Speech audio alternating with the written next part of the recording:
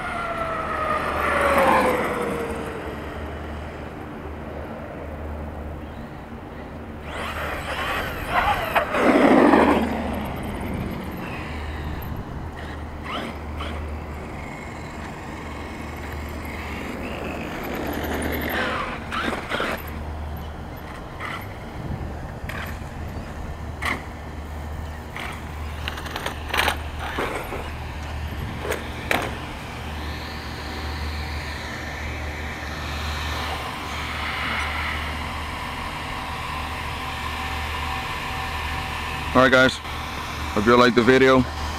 Peace.